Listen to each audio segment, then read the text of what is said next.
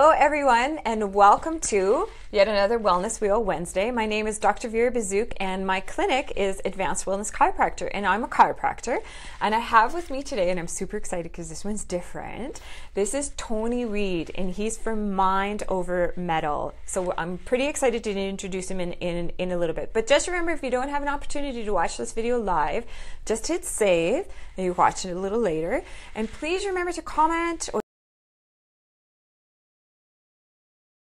can get involved and maybe you have some questions and we might be able to see those questions and answer them as we're doing this interview. So, a little bit about why Wellness Wheel Wednesday exists is the fact that you know people have aches and pains, um, and sometimes we're really hunting for uh, where and why do I still have this ache and pain. So, as a chiropractor, that's mostly I'd say 90 95, 99% of the time when people come to a chiropractor, it's because they have some ache and pain and they really want to get rid of it. Um, rarely do people come for, hey, I'm doing pretty good. Can I do even better? Although that is the next evolution of chiropractic is how to maintain wellness. So when we're doing a thorough history, there's um, you know we're talking about the pain just making sure that we have an understanding of it but what is really causing it when we have these repeated stressors in our life um, that could be a problem. So many people will think that they're doing something. So physically, they're either sleeping wrong, sitting wrong, bending wrong, something physical that they're doing wrong. And that is a contributor. You know, when you're sitting at a desk and you have this posture for eight hours, that contributes. But is it the only thing? I don't think so, especially if the pain is recurring or if it's of a chronic nature. Then I start to begin to think that, hey, something else is involved. It might be something chemically, poor lifestyle choices, bad diet, smoking, drinking, drugs, or it could be emotional. And the emotions are the are really big sucker punches, especially if we can't process these emotions. It's not that they're bad, it's just how we express and actually deal with these emotions. Many of us don't have the tools. So our emotional health is, um, is, is very important, but it also, these strong emotions can be coming from different areas of our life. How we feel about our finances, how we feel about our jobs, how we feel about our family life, and all these kinds of things. So I'm very excited because Tony here is again the, Tony Reid from Mind Over Metal, but he is representing the, the mental part of the wellness wheel. And I'm excited because mental is, is a little bit of a tricky field. What, um, to me, what mental is, is a little bit of that growing your mind. So if you're not learning something and not getting engaged with life and exploring things, you're shrinking. And that's no way to live. But also, Tony has a different, he has that part of in it, but he has a different part for the mental.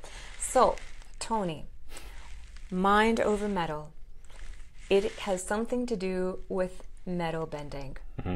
Tell me, tell me a little bit more about that and how that actually works and, and how it fits into the wellness wheel and what we were talking about. Sure. So, uh, first, thanks for having me today. Appreciate that.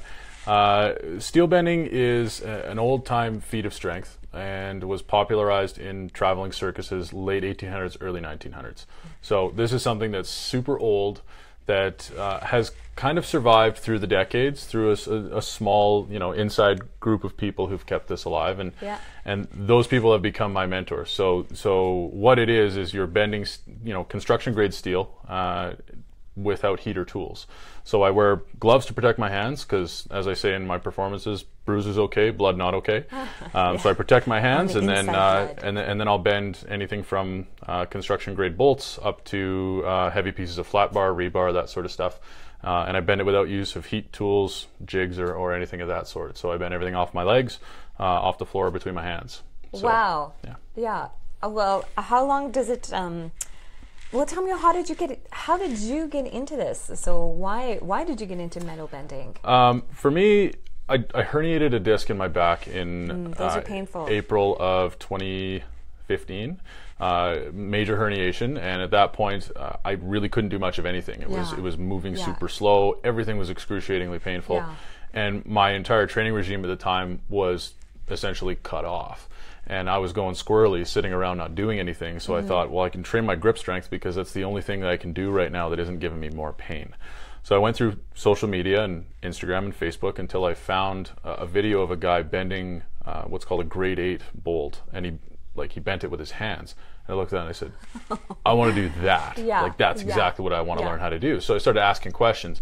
How can I learn from this person, this person, until I, I started to get similar names until I, I landed on a guy named Chris Rider. Yeah. And Chris is the Coney Island strongman. Um, he's, uh, you know, in terms of the amount of things that he's capable of doing, he's probably, uh, I would say, arguably the best, you know, strongman in the world in the performance side of things for sure. Wow. And uh, and I ended up hiring him as a coach, and uh, he taught me how to tear phone books in half, how to rip decks of cards in half, how to bend bolts, twist horseshoes, drive nails by hand, all these old performing feats that these you know traditional strongmen would do in in circus shows and, and performances live. Uh, I learned these these techniques, and and what I realized very quickly when I started was that so much of this was about your state of mind. Yeah. Uh, when I do a, a, a performance for, for when I do them, or if somebody sees me uh, creating artwork with without using these heater tools, they think, "Wow, that must be a great way to relieve you know to relieve yourself of stress and, and just put all your anger into it." And the reality is that these techniques require an incredible amount of focus, and it's not just about putting your rage into it. Right. So um, for me, it, it became a, a Opposite, actually. it, yeah. it became a, a, a really interesting way for me to ground myself, and it became, in a way, meditative.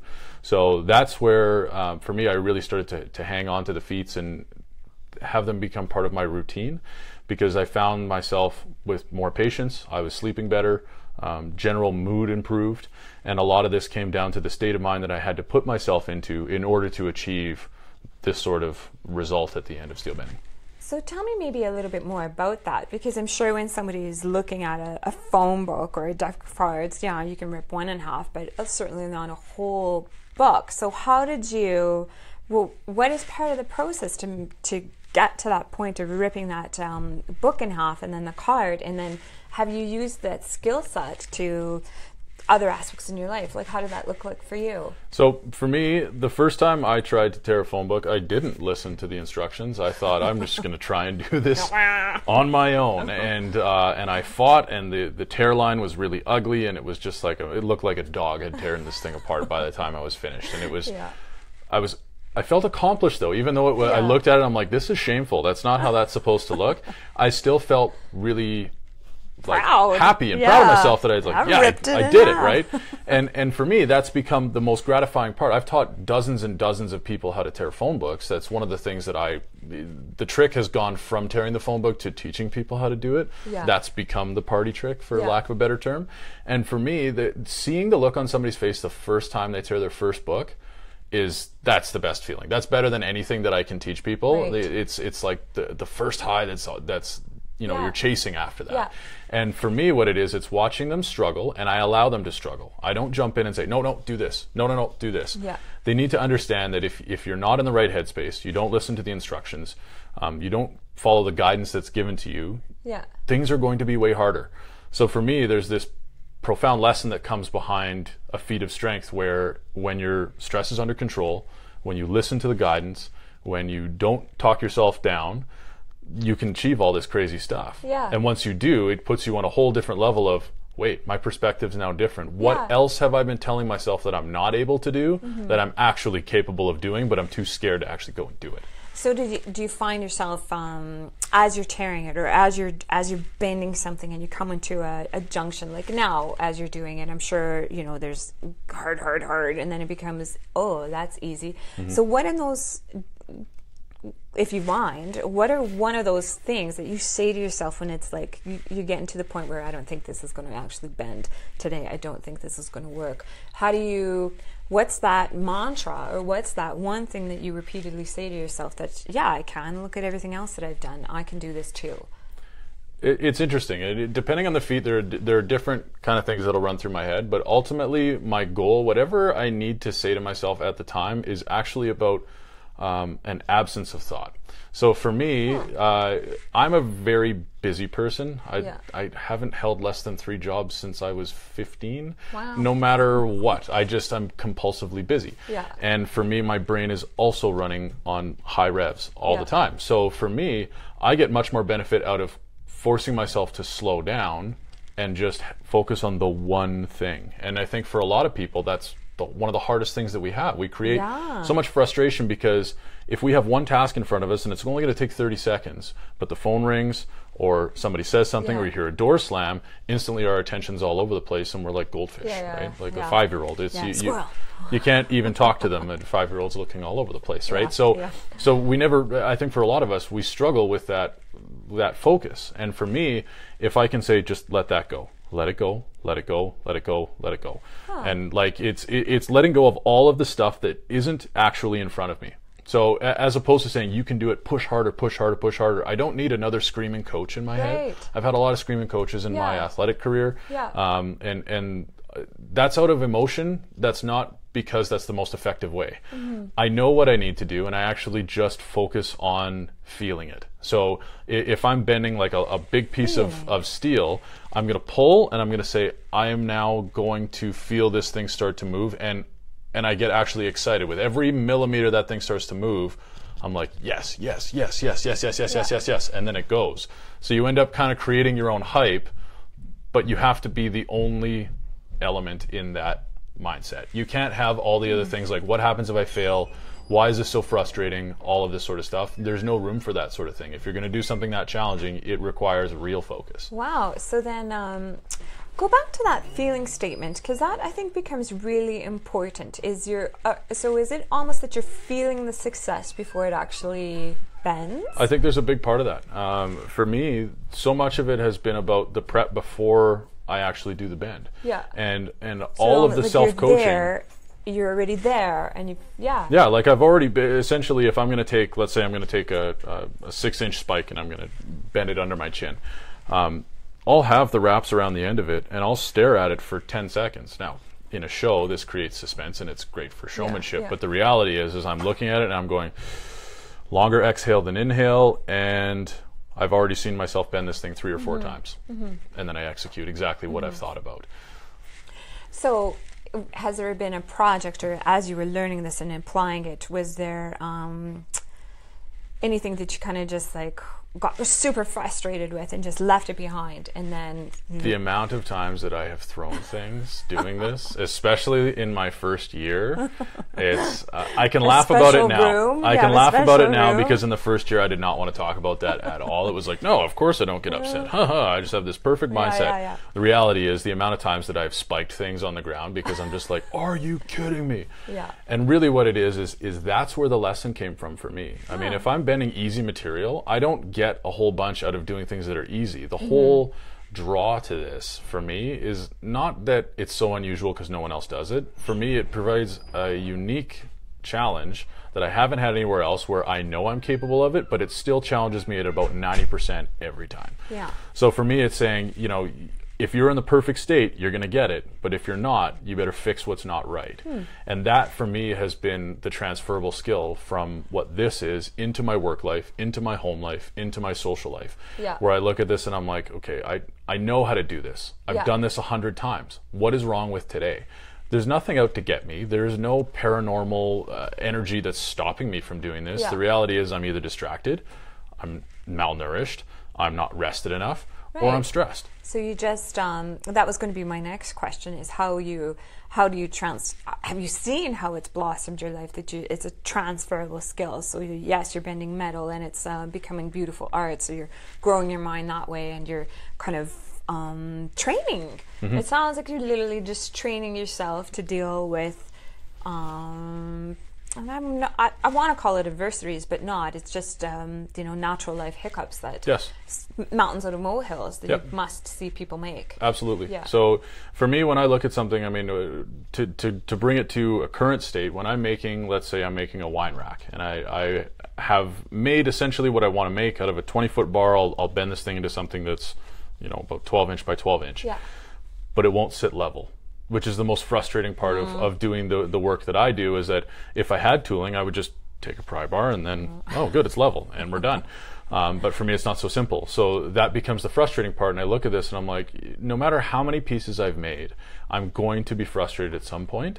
So is it better for me to deal with this now or deal with it later? Yeah. So what do you do? So uh, for me, honestly, it's take a five minute break Yeah. um, and, and I actually go physically away from it physically mm-hmm. outside. Yeah. And there's something about changing your environment where you are not staring at the problem anymore. Yeah. Where it allows whether it's your subconscious that, that sobers up or whether it's your emotional state where you're like, I really just needed a breath of fresh air.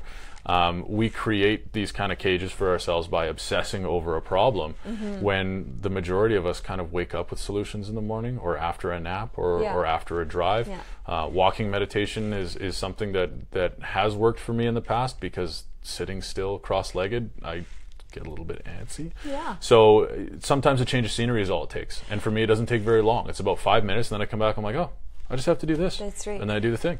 I've heard of that, that it like a dramatic, um, like, but an extreme removal. So going outside. So if you're inside, going outside. So that is almost like this massive shock to the system. So it's completely different.